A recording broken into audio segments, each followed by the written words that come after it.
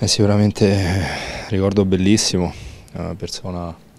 ragazzo che stava, stava, insieme a noi, insieme alla squadra in ogni cosa che facevamo. Era bello scherzarci insieme, anche eh, dargli fastidio durante le sue registrazioni. Eh, veramente giornate tristissime perché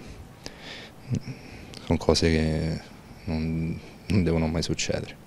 facevo spesso quando si metteva, si metteva laterale o nelle dirette o per registrare un pezzo sul nostro allenamento, magari ecco proprio sulla fine gli tiravo le pallonate così doveva ricominciare da capo e era bello, era bello scherzarci sopra perché eh, l'atmosfera che si crea anche poi quando sei qui a Milanello con, con tutti diventa, diventa speciale. Star qui oggi a, a ricordare questi, questi, momenti fa piacere, ma ciò che resta è che Claudio, Claudio non c'è più e bisogna fare onore alla, alla, sua memoria, al suo modo di, di essere, al suo modo di, di porsi, al suo modo di, di, fare il suo lavoro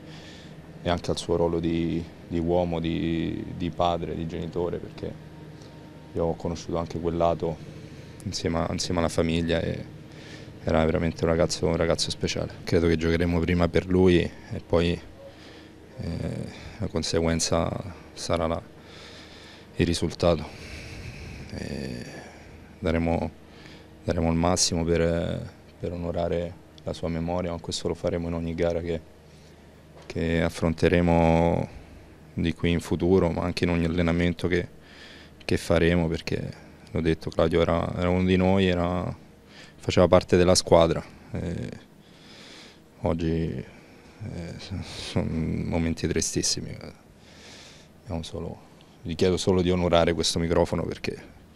con quello che il modo in cui lo faceva lui era, era, era unico.